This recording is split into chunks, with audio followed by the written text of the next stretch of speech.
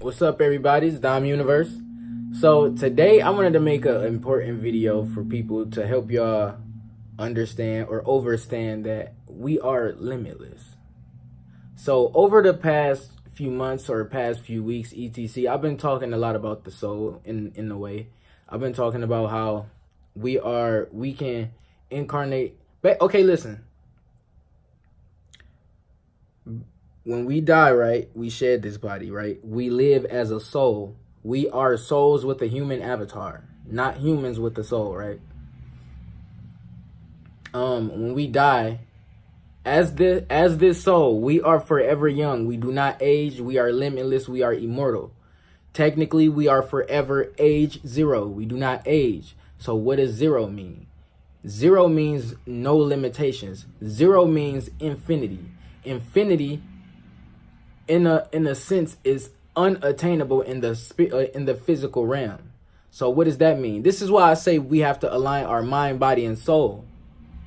Like I also told y'all, just like when we when we uh manifest things into our life, it oftentimes we manifest it in the spirit realm first, and then it it starts to manifest into the physical realm because things manifest faster in the spirit realm. So um like just like when you say words, it's vibration, so it echoes on into eternity. Uh, y'all, we already know that. We we ain't gonna get into that right now. Just a minute. Um. So since number zero in numerology mean infinity and uh, no limitations, you got to realize we are infinite beings. So I talked about how when you die, right, you go into the higher dimensions and you're a soul, you have the option to be able to pick and choose what planet or star inside of whatever universe, in whatever multiverse, omniverse, inside of the macroverse you want to incarnate on.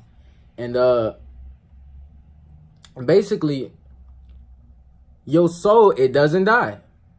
It just creates avatars when it goes on to planets. The avatar is the the the uh, genetics of the avatar is created by Osiris, but we customize the avatar and shape it into what we what we want. Like how I look, my soul made my body look like this when it when it uh, formed inside of the fetus, right? Or formed inside of the uh, the woman, my mom. Basically, it's like when you play a video game and you create your avatar, right? You make it look the way you want it to look. If you ever played the older Tony Hawk games and you create your avatar and you like add in races together or add in like there are, is grids and you change, for example, your facial features, how big you want it, how how light you want it, what position you want your eyeballs on your head and stuff like that. It's just like that. Um. So with that being said, uh everything starts inside, right? So y'all know how I tell y'all we have a microverse inside of us. If anybody who's ever having internal conflict inside of themselves, you're supposed to go inside before you ever try to like the same same concept is when I say you have to start inside to build love. Build love inside you before you can give it out to the world. Um go within your microverse. I know y'all probably hear a lot of people say you have to go within, you have to go within, blah blah blah, and y'all probably don't necessarily understand or overstand what that means. It means that you are the governor of your internal environment. I spoke about this inside in that uh that that your cells react to your thoughts video. You are always creating your reality whether you realize it or not, your thoughts and whatnot go to your subconscious, and, and your subconscious is, is connected to the divine, the spirit realm. So when it manifests in the spirit realm, your subconscious look for ways to make it manifest into the physical realm. We are we really powerful people.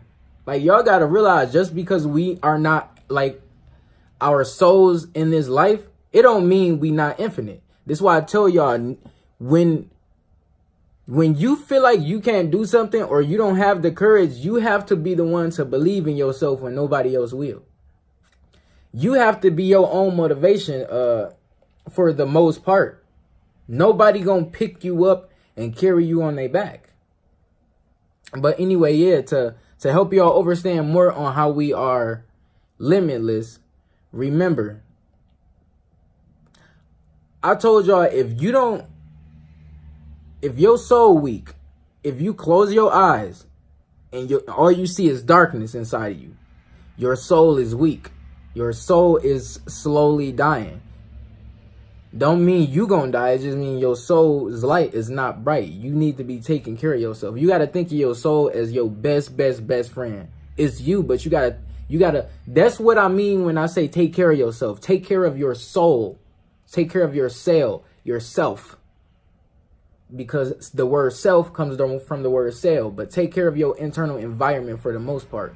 Your internal environment creates your external environment. Remember that everything starts inside. That's with anything. That's with wealth. That's if you want a job. That's if you want you want a better life. You want a better body. You want a better car. You want a better anything. You want something new. You want whatever. You want whatever it is to happen in your life. You start inside. Everything is in there.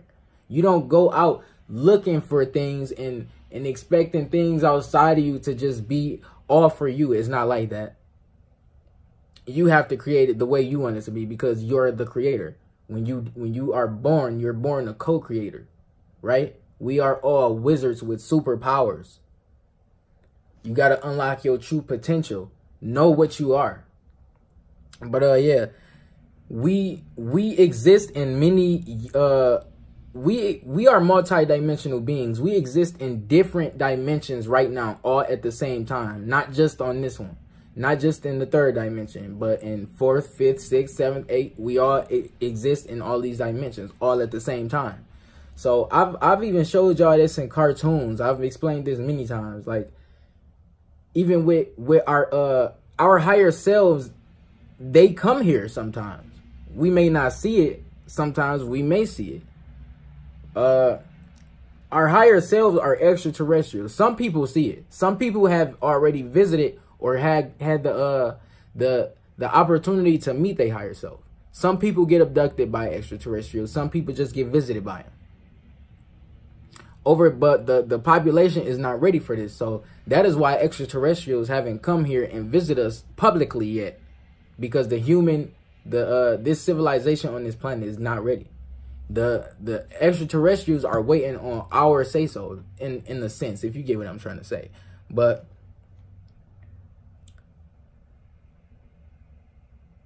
it's just like it's just like a video game. You have you outside the video game, your real life you, right? Then you have yourself inside the video game. You are creating that avatar. You are shaping it and creating it and making it what you want to make it. And then when you finally done creating it, you get to play the game, right? You get to be what the fuck you want to do. You get to become whatever you, the fuck you want it to be. You get to be as powerful as you want to be. You you get to be able let's say it's asking you to become some type of what magician it asks you to be you want to be a wizard a witch a sorcerer a goddamn a magician whatever a goddamn pyromancer a necromancer a person who do telekinesis a person who can who can just just we always get the it's we always get the truth thrown in our face but we don't realize it because movies put our real life superpowers on steroids. Like for example, magic in real movies. When when people in movies or uh cartoons or shows do magic, it happen instantly. But for us, it don't happen that instantly depending on what we doing. For example, people think that voodoo or like just making things manifest, it just happen instantly or it's just gonna happen because you sitting down. It don't work like that see people when you manifest some some people often use the moon to manifest right even on the new moon right you have to wait until the the next you have to wait a couple a day to a couple days or to a few days depending on what type of ritual or manifestation you're trying to manifest. We have the power to do all this stuff. Everything we need is here. We are infinite. We have infinite resources. We have infinite life. We are immortal. Even the Bible tells you this. This is why I tell y'all also, or I used to tell y'all, because I haven't talked about this in a while. Death is nothing but an illusion. When you die, you ascend if you had the right information, if you did your life correctly, if you served your purpose, if you let go of attachments. we have to not get too attached to this this physical realm because we cannot take shit that's here with us. Outside of this physical realm is not a physical realm. Nothing physical can nothing physical can be there. Right but that's pretty much it. I'm gonna make a series or a few more videos on this topic but now Dom Universe taking off. Like subscribe. I love you all. Peace